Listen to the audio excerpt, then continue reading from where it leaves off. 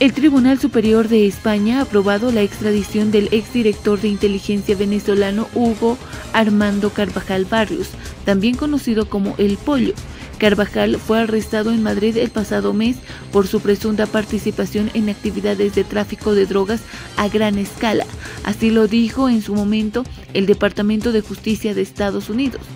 Fue acusado el año pasado en el Distrito Sur de Nueva York por presuntamente participar en una conspiración de narcoterrorismo y una conspiración para importar cocaína a Estados Unidos, incluido un cargamento de 5,6 toneladas de cocaína transportada desde Venezuela a México en abril del 2006.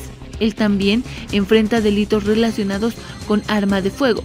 Carvajal fue el hombre de confianza de Hugo Chávez y uno de sus colaboradores más cercanos.